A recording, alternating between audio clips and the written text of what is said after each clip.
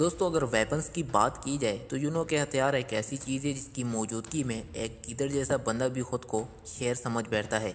तो इसलिए आज की वीडियो में M C U D C versus M U के हीरोज़ जो कि ख़तरनाक हथियार इस्तेमाल करते हैं, हम उन्हीं हथियारों को एक्सप्लेन करने वाले हैं, जो कि बहुत ही पावरफुल दिखाए गए हैं। इसलिए वीडियो को एंड तक ज़रूर देखिएगा।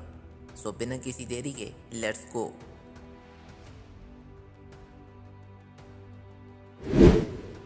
आक्वामैन दोस्तों आक्वामैन के पास जो हथियार है, वो बहुत ही पावरफुल दिखाया गया है, जिसकी पावर से आक्वामैन समुंदर में राज करता है। और समुंदर में मौजूद काफ़ी खतरनाक चीज़ें इस हथियार की वजह से आक्वामैन के हुक्म की पैरवी करती हैं।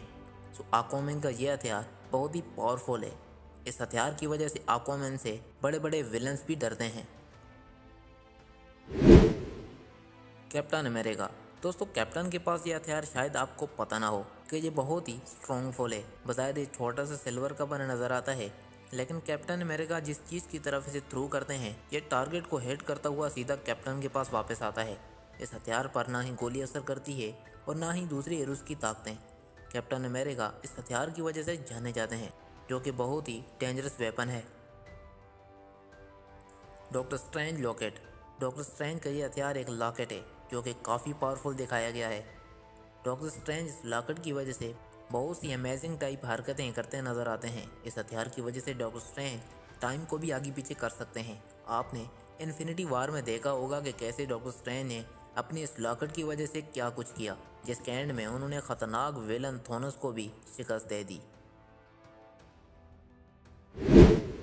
वंडर वूमेन दोस्तों वंडर वूमेन का ये ब्रेसलेट जो कि बहुत खूबसूरत नज़र आने के साथ साथ काफ़ी पावरफुल भी है। जिससे वंडर वूमेन किसी भी आफत का सामना कर सकती है। ये ब्रेसलेट लाइटिंग को ऑब्ज़र्व करके उसे अपने हिसाब से मैनुकुलेट कर सकता है। और इस हथियार की वजह से वंडर वूमेन ने सुपरमैन को भी एक दफ़ा फेंक दिया था।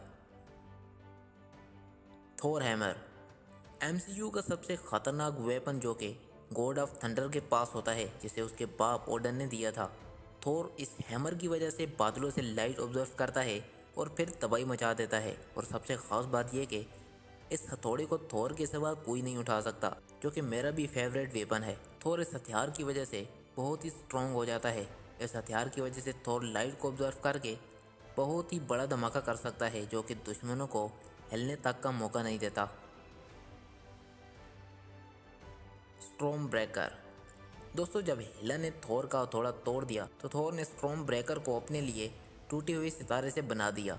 जो कि एस गार्ड का अब तक का खतरनाक हथियार समझा जाता है। इस वेपन की वजह से थोर किसी भी लोकेशन पर उड़कर जा सकता है और ऊपर से स्ट्रोम ब्रेकर से ज़बरदस्त किस्म का अटैक भी कर सकता है। इन्फिनिटी वार में थोर ने इसी स्ट्रोम ब्रेकर की वजह से थोनस की सिक्सटी इन्फिनिटी स्टोन की एनर्जी को ऑब्ज़र्व करते हुए थोनस के सीने पर वार किया था, जो कि बहुत ही पावरफुल है। आयरन मैन आर्मर दोस्तों आयरन मैन का ये आर्मर चलता फिरता वेपन है, जो कि बहुत ही पावरफुल है, जो कि एनर्जी शील्ड एनर्जी ब्लास्ट और माइक्रो मिसाइल अपने अंदर रखता है। आयरन मैन ने सिक्स टोन्स की पावर को इस हथियार की वजह से कलेक्ट करके थोन समेत उसकी सारी आर्मी को भी ख़त्म कर दिया था। इस हथियार के बारे में आपका क्या कहना है, मुझे कमेंट सेक्शन में ज़रूर बताइएगा। तो इनमें से कौन सा वेपन आपका फेवरेट है, मुझे कमेंट सेक्शन में ज़रूर बताइएगा। अगर वीडियो अच्छा लगा तो उसे लाइक करके दोस्तों के साथ ज़रूर शेयर कीजिएगा। अगर चैनल पर नए थे तो चैनल को सब्सक्राइब करके साथ मौजूद बेल आइकन को भी प्रेस कर दें, ताकि इस तरह की इंटरेस्टिंग वीडियोस आप तक पहुँचती रहें। अब मैं मिलूँगा आपको एक नई इंटरेस्टिंग सी वीडियो में। तब तक के लिए अपना बहुत सा ख्याल रखिएगा। Thanks for watching this video